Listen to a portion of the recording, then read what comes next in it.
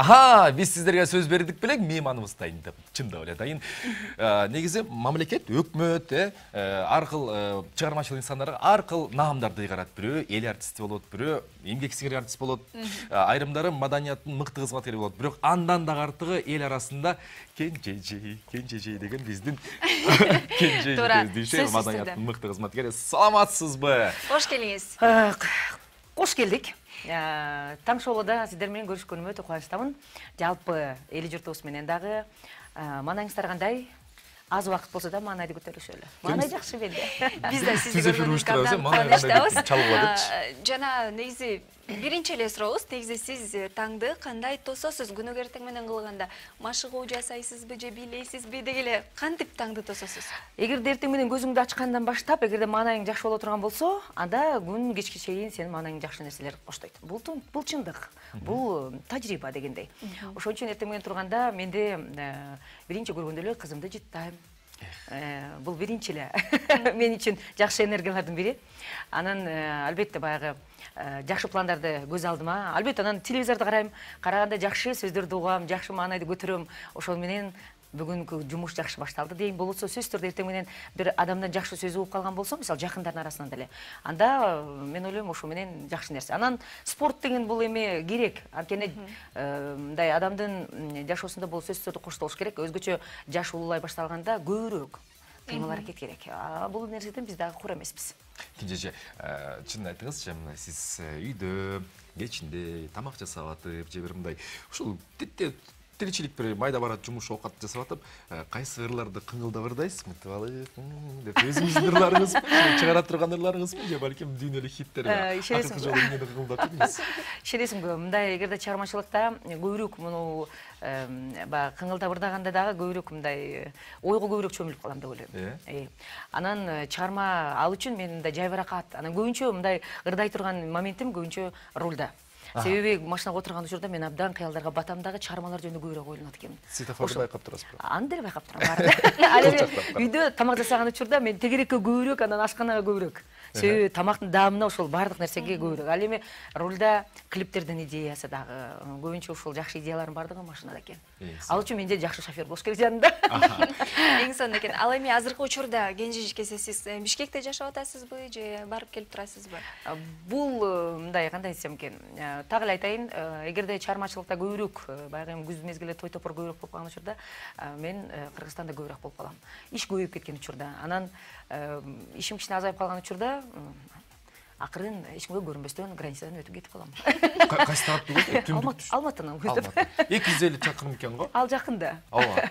мындай анан ырсын. чыгармачылык дегенде мындай да бул э, көпчүлүк айтат эже биз сизди бишкектен көрдүк дейт анан качан жетишпей калдыңыз деп айтат анан мен эгерде ошол границадан мен кетип атам мен келип атам деп эгерде инстаграмда же интернет блогтарында айта турган болсом сиз келип эле кетип берет экенсиз да мынча тез андай мындай деген суроо көп ошон үчүн мен качан барып келген ошон үчүн мен барып келген учурлардын баардыгы мен себеби кээде рабочий момент болуп калат баягындай э, кээде мындай ушул боюнча баягы сахнадагыдай табитти көрө албай калышат да ошол учурда айтат да ой эми сиз башкача болуп калгансыз го деп башташат да ошон үчүн көбүнчө ал себептерди чыгарбаганга аракет жасайм эгер сизде мындай дейли да бир мүмкүнчүлүк болгондо э, кайсы бир жаш куракты тандап ал кенже деп туруп кайсы жаш куракты тандап туруп ошол жаш куракты тандап анан стоп деп басып коет элеңиз да өмүр бою ошол жаш куракты жашайт элеңиз. Ишенсең ушул баягы акыл анча жетил элек мезгилде балалык кыялды деп ойлойт элем да эгерде билбейм бир он беш он алты жашта ошондо мындай э, кнопкасы болсо ошону көбүрөөк сүрүп алалы дейт элек анткени э, баягы жашоодо адамдын э, акылы көп нерсеге жете баштаган күндөн баштап адам көбүрөөк түйшөлөнө баштайт экен себеби э, ал эми эне атанын кучагында жүргөн доор бул доор деп ойлойм. Анткени кийингениңе кубанасың курсагың тойгонуна жакшы сөзгө кубанасың а андан кийинкиси бул өзгөчө бир кубанасың. кат келеби кат келеби жакшы сөз болобу дегендей да. Ал эми ойлойт элем эгерде бул кайталанган өмүрдө ушундай боло турган болсо анда ошо он беш жашты он төрт жаштын кнопкасын басат элем да ошол 14 он беш Эң сонун ошол экен. адамдарды көбүрөөк туура кенжежикеси жана бизден кыргызстандыктар сизди негизи кыз бурак менен таанып калбадыбы А, андан соң бул сурообуз деги эле кыз буракта жүргөн жашоо кандай эле жана андан соң сиз бөлүнүп кеткенден кийинки жашоо айырмасы кандай айырмасы бар. Кыз бурактан кеткен мезгилде баштап мен үй бүлөгө аттанып үй бүлө турмуш куруп кеттим анан ал учурда көбүрөөк жаштык энергиям жаштыгым өзгөчө өзгөчө чоң энергиям. Ошол кыз бурак командасына кетти десем болот анткени баардык жооптуу маселелердин баардыгы бул менин моюнумда болчу кыздардын дегендей уюштуруу маселелери костюм сахна баардыгы чынын айтыш керек мен турмуш жолуна ошол кыз брак командасынан кеткенден кийин чынында эле канатымды абдан жайдым десем болот. Биринчиден эркин кушка айландым бул бир экинчиден э, баягы адамдын чыгармачылыгында мурда мага караганда көбүрөөк мындай. Э, мен көбүнчө баягы сахнанын артында калып калчумун за кулисом деп коет го а кыз брак командасынан кеткенден кийин мен өзүмдү өзүмө болгон өзүмдүн кадамымды э, мындай даана анан көрсөтө алдым десем болот да. Кененирээк шилтеп, э? кененирээк шилтеп деген. Эми андай дегенде кандай дегенде? Себеби жооп баардык маселеде бул жооптуу адамга бир топ эле кыйын өзгөчө кыздар командасы менен иштеш бул өтө эле оор ал эми бүгүнкү күндө өзүңүздөр билесиздер мына ушул он экинчи апрелде биз э, жебе командасынын түзүлгөнүнө беш жылдыгы болду. Беш эле жыл кандай өткөнүн байкабай калдым. Анткени салыштырмалуу кыздарга салыштырмалуу жигиттер менен иштеш бир топ жеңил экендигин мен бүгүн мойнума алам. Мүмкүн бүгүнкү күндөгү менин э, баягы иштеп аткан көп жакшы ийгиликтеримдин көпчүлүгү мүмкүн ушул команда менен иштеп аткандан да болушу мүмкүн деп ойлойм. Бир негизи командалык адамсызбы Э, командалык эмес адамсызбы кээ бирлер өздөрүнүн баягы энергетикасына салыштырмалуу мисалы э, интроверт экстраверт деп го кээ бирлер командада иштеп өзүнө баары табат да ошондон энергия алып алдыга э, кетет кээлер болсо жок мен жана мен могу менин чийиним буяктан өтпөгүлө бул сурооң абдан туура болду анткени мен өзү он бир туугандын үй бүлөсүндө чоң болгом негизи анан көпчүлүктү абдан жакшы көрөм мага жалгыздык жакпайт мисалы жеке э, чыгармачыл инсандар өзүн мен мен деп сулуулап татынакай кылып өзү үчүн иштеш оңой а бир мезгил келет да мисалы сен эмне кылдың деген суроо бар. Э, мисалы баарыбыздын жашообузда бул нерсе бар. Мен дагы бир караган мезгилдерде айткым келет эгерде менин артымда бир эмгек сиңирген эл артисти өсүп ошол адамдарга бир топ чыгармачылык жол ачкан болсом бир мезгилдерде мен дагы мындай каалыкты жакшы сүрөм деген ишеничтемин чынын айтыш керек менден дагы күчтүү э, кыздар балдар өсүп чыга турган болсо мен мамлекеттин маданиятына бир жакшы нерсе жарата алдым деген ишеничте болом ал эми баягы өзүмчүлдүк деген бул көпчүлүк убакта баягы мен мен деген сөз адамды көбүрөөк мен мен деп туруп өзүн да жок кылып коюшу мүмкүн да. Ал эми баягы бала кезден баштап ошол мектепте жакшы окудум дружина советінің председателі болдум кийин комсорг ал ушул ошол мезгилдерде биз менен бүттү комсомол менен ошо эме. балды көрүп калдыңыз мен айтпайт баардыгы болдум.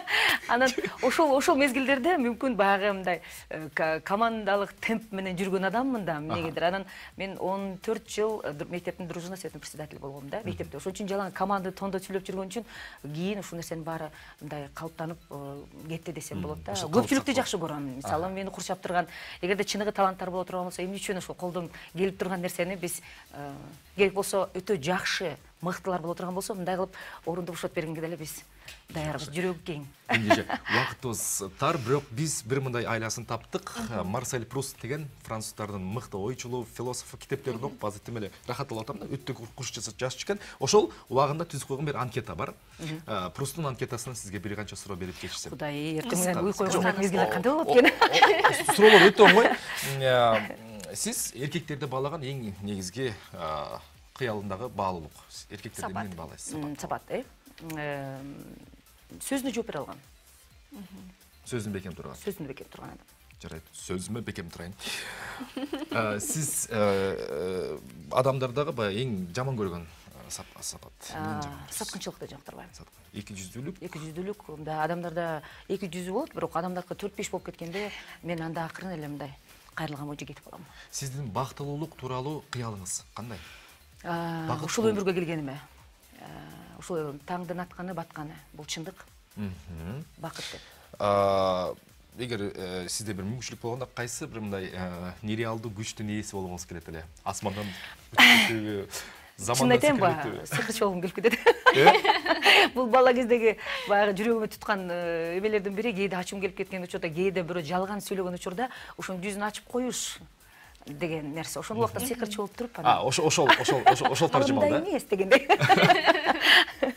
ооба сыйкырчы эң сонун рахмат рахмат. Чоң рахмат сизге жекеси терең ыраазычылык билдиребиз саламия азыр болсо сизге микрофонду сунабыз биздин телекөрүүчүлөр үчүн өзүңүздүн тандап келген музыкалык чыгармаңыздарды алып бериңиз.